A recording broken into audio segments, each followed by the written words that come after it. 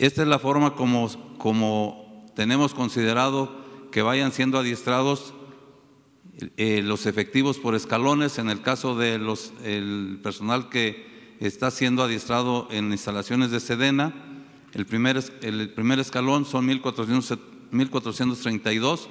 Este personal concluye su curso de formación ahora el 20 de diciembre y tenemos considerado desplegarlo el 6 de enero del 2020.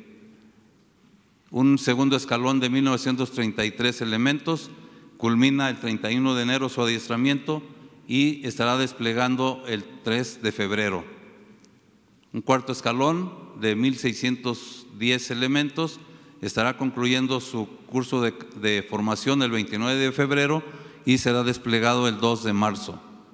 Y así, el cuarto escalón eh, terminaría el 3 de abril para desplegarlo el 6 de abril y por último el, escalón, el escalón más grande que está adiestrándose en instalaciones de Sedena estará terminando el 29 de mayo y desplegará el 1 de junio. Por parte de la Secretaría de Marina, el primer escalón de 2.954 elementos ya, fue, ya concluyó su, eh, curso de formación y ya se encuentra desplegado, es parte de los efectivos que ya están desplegados en cada estado. Un siguiente escalón de 569 elementos también concluye ahora el 20 de diciembre y estará desplegando el día 6 de enero.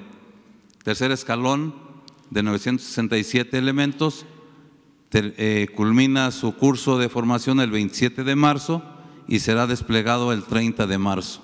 Y el último escalón de la Secretaría de Marina estará terminando su curso de formación el 29 de mayo y será desplegado también el 1 de junio, de manera que el día 1 de junio ya estén desplegados en las coordinaciones regionales todo el personal que fue reclutado en el 2019, los 21.170 elementos.